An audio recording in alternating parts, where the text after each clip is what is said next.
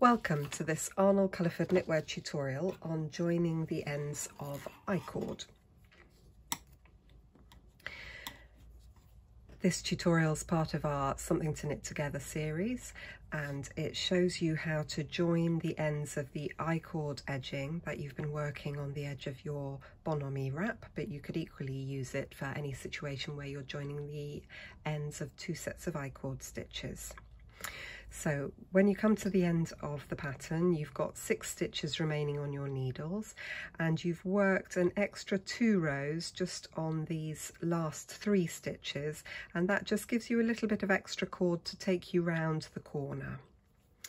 So the first job is to arrange your stitches so that they're on two needles instead of one.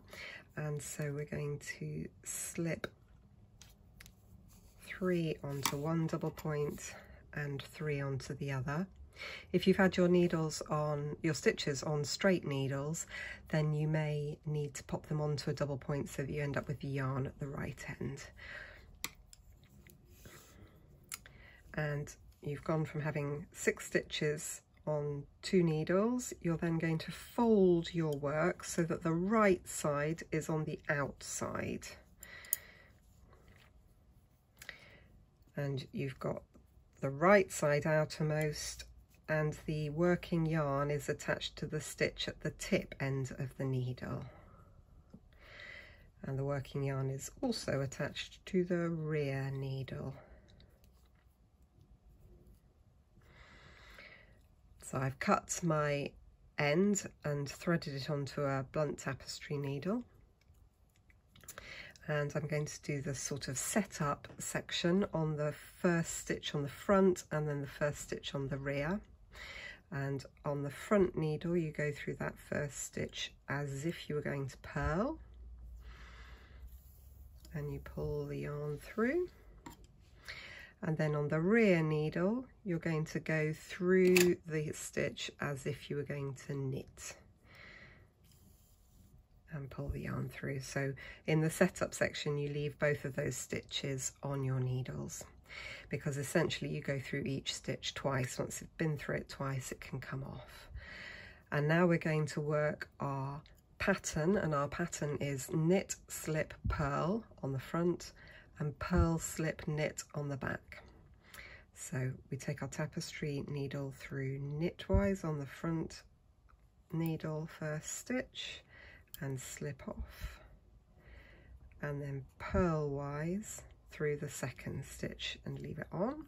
So that was knit, slip, purl on the front and then on the back we're going to go purl, slip off, knit through the next stitch.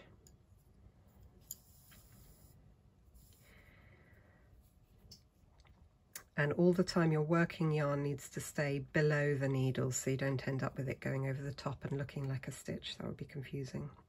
So I'll do that pattern once more.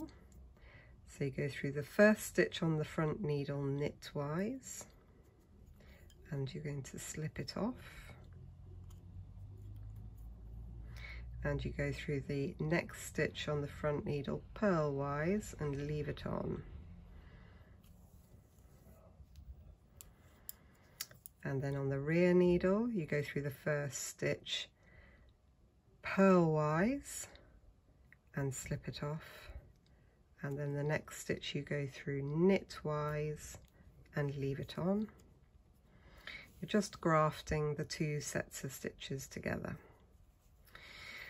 So once you've done that little pattern twice you've only got one stitch remaining on each needle so the first one you go through knitwise and slip it off and the rear one purlwise and slip it off. Pull your yarn through. Now if you look at the join section now it looks like a an absolutely terrible mess don't worry that's quite normal because we've done it quite loosely and all we're going to do now is take those loose strands and just tighten them up so here's the first one. Just give it a little tug so that the um, stitches all settle down. And then the next one, pull that. We're tugging the yarn towards the front because that's where our end is. There's the next loop. Tug, tug, tug. and you can pull it then through and if you then look you've got your V's of your stitches going neatly all the way along both sides. Now your yarn is now at the front of your work, which is obviously not where you want it. So you just take it through to the back.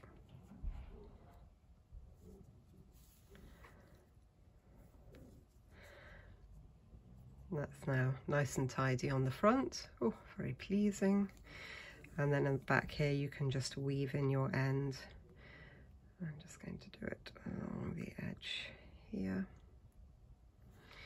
You can go up into the I cord, of course. I'm quite happy to have it on the rear of my stocking stitch, that's fine.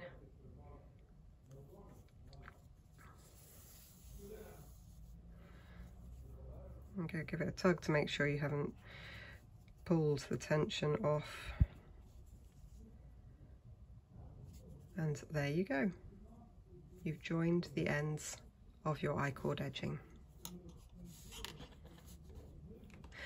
I do hope you found that tutorial helpful.